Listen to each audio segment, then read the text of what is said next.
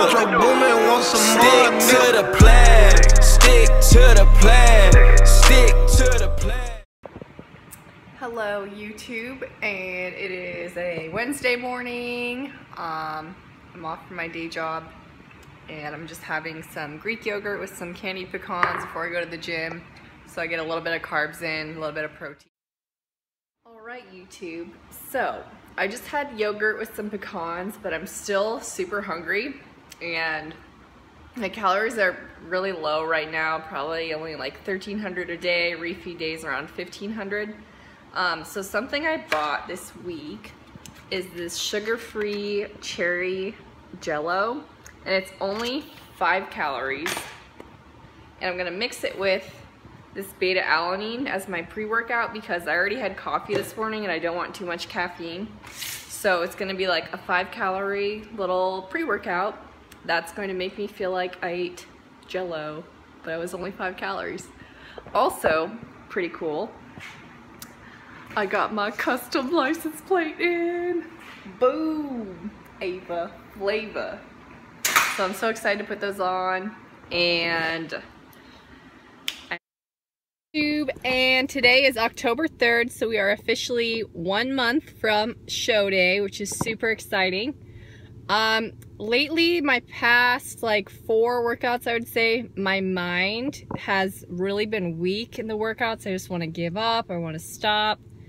I'm so tired and like um, my body's kind of at the point where my body fat is getting so low that it's like it just doesn't want to push itself in a workout because I am pretty much starving myself. And it's like okay why we're continuing to lose fat. It's getting cold and my body naturally is like retain fat eat more you need more fat so I'm fighting nature I know right now which is the hardest part mentally and I really don't want to give up. So today I'm like splitting my workout in two. I just did the first half and then I'm meeting up with a girlfriend later tonight and I'm to finish the second half because I just, it's my day off and I just can't do it. I can't do it all.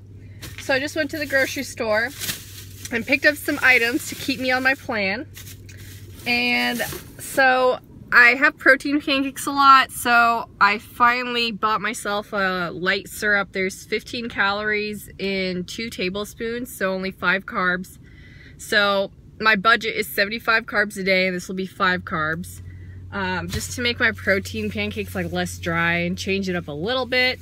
Um, as always, I always pick one new Halo Top flavor a week, and I my serving size, I think I do like a quarter pint so it's like a quarter cup. Um, so this is higher in carb, but it just, uh, it's low calorie, it's a good ice cream. But then on some days, I'll have the Killer Whey ice cream, which is way higher protein and also higher fat. But just, I pick out like two pints of ice cream a week to motivate myself and be like, oh, there's a new flavor this week. Uh, what else did I get? We got that zero calorie gum because y'all know you know, we need to taste something every now and then. And then I just saw these like chocolate stevia drops. OMG, zero calories. So I might put that in my coffee or like a protein shake or something. And then I got sugar-free jelly. It's kind of like the syrup, kind of the same thing. It's like five carbs in a tablespoon just to change my toppings on my protein pancakes. And then lastly, I got this, um, it's like a lower calorie stevia, like alcohol, so it's like a sweetener. And this is 30 calories in a half tablespoon, so it's super, super sweet. And my reasoning behind getting this is because I'm trying to work on that protein brownie recipe I posted. I'm trying to come up with a recipe that has like a mint extract, like sweet filling that's low calorie because like it'd be really cool to have like a protein brownie with like a minty low calorie like ganache in the middle.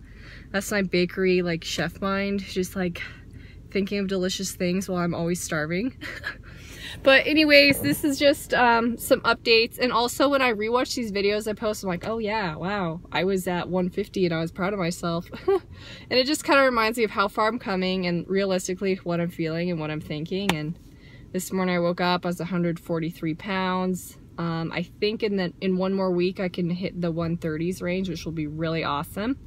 Um, but yeah, um, one way I motivate myself to stick to a plan is by investing in it, put, spending actual money. So I'll either like buy new workout pants and be like, okay, now you have to use them, or buy things like this or do a grocery haul, which is it supports good habits. It's like, yes, I just spent what 20, 30 bucks, but I'm supporting low calorie habits so I can stick to my plan and I don't binge eat and give up and just stuff my face with Reese's. But anyways, catch you guys later.